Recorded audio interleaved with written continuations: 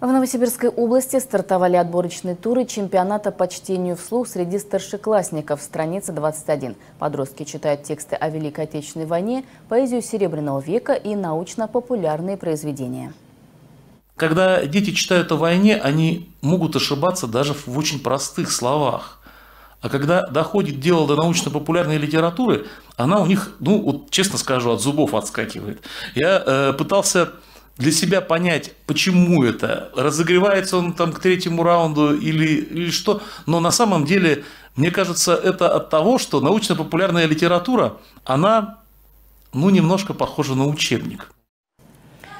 Отборочный этап будет идти в регионе до конца ноября. На участие в нем подали заявки 48 площадок региона. В середине января к чемпионату присоединятся школьники Новосибирска. Отборочные туры проведут в онлайн-режиме. В итоге отберут 180 детей. В феврале стартует народное голосование в интернете, а полуфинальный марафон чтения пройдет в Бердске в начале марта во время книжного фестиваля. Восемь победителей выйдут в областной финал. Благодаря таким проектам, как считают организаторы, дети начинают больше читать. Как художественный текст может звучать со сцены, показывают и новосибирские театры.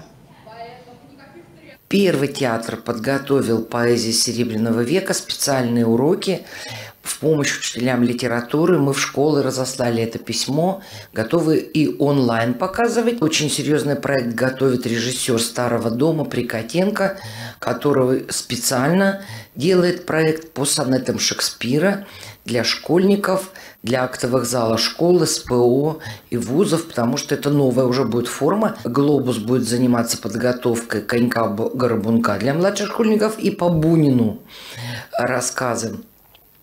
Э, а, «Красный факел» берется за то, что для школьников Толстого подготовить.